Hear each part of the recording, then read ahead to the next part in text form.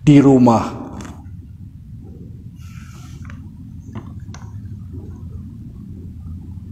Hanya kau dan aku. Anak-anak masih mengolah nasibnya sendiri.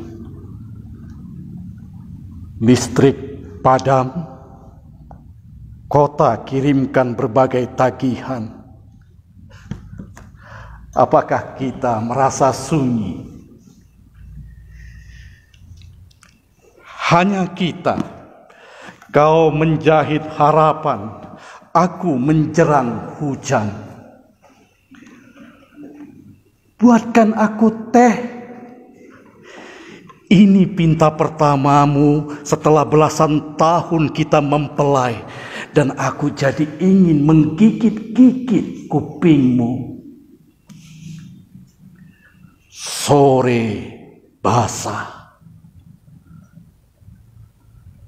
Kita pun basah.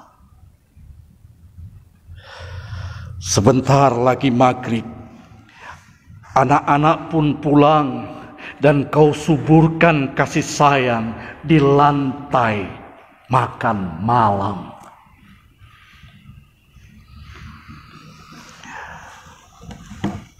Masih hujan.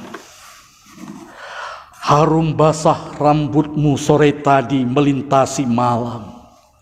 Sepasang cicak lari sembunyi ke balik jam dinding.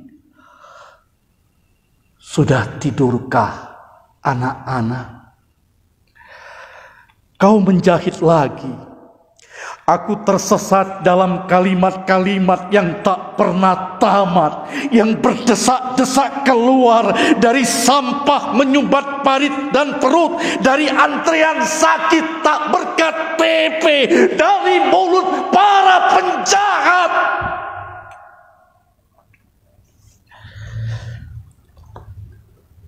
Semoga tak ada jin jahat mencuri mimpi anak-anak itu. Semoga mereka tak mimpi jadi penjahat. Betapa lucunya kita. Mimpi mereka pun kita cemaskan. Walau sebenarnya kita sadar hanya perlu mengingatkan mereka pada pulang, mengingatkan mereka pada rumah yang lain, rumah segala rumah.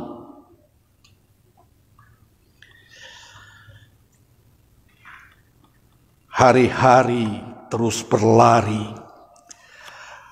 Aku jadi suka mengeluh dan suka menangguhkan jawab. Kau kian tangguh, merubuhkan ragu. Menjalani keputusan demi keputusan. Demikianlah hidup.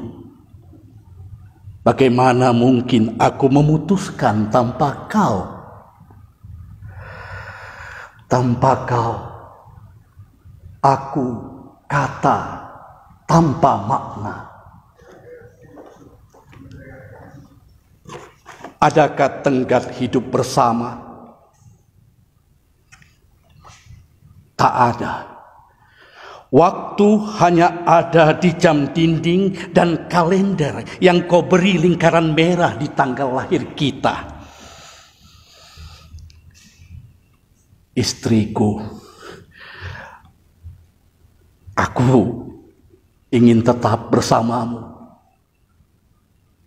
Bersama anak-anak kita. Walau kita telah tiada.